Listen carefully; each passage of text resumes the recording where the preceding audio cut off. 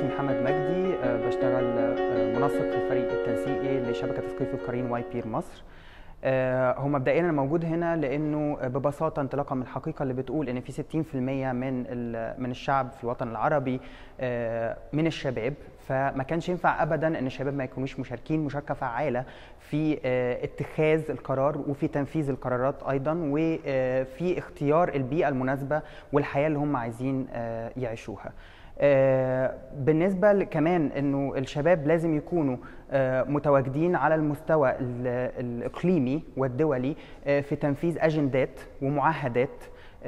موجودة آه، وموقعة من قبل الدول. ولازم برضو إنه آه، من خلال ال ICPD من خلال أجندة ال ICPD إن هم يقدروا يراجعوا الأجندة ديت يوفقوها للبيئة اللي موجودة دلوقتي في الوطن العربي واللي مليانة بفرص أكبر للديمقراطية فرص أكبر إن إحنا نقدر نحقق التزامات أكتر في مجال الحقوق والحريات الشخصية آه، سواء آه، لفئة الشباب أو للفئات ال- الأكبر في العمر. آه، وبالتالي إحنا موجودين هنا علشان نقول لكل الحكومات ونقول لكل الدول والمجتمع المدني انه آه، الشباب مهمين جدا كقطاع آه، سواء كما أو كيفا في ان هم يحددوا سياسات الدول ويحددوا إزاي ممكن مستقبل الدول ديت يبقى متوجه ناحية حقوق أكتر حريات أكتر وناحيه كمان مجتمع أفضل.